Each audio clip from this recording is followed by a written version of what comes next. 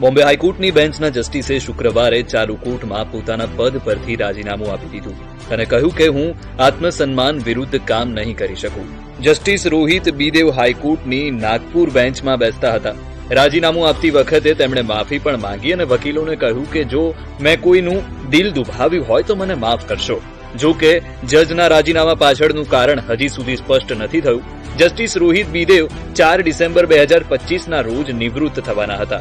હાઈકોર્ટના જજ દ્વારા આવી રીતના અચાનક ચાલુ કોર્ટમાં રાજીનામું આપતા અનેક તર્ક વિતર્ક સર્જાયા છે. બ્યુરો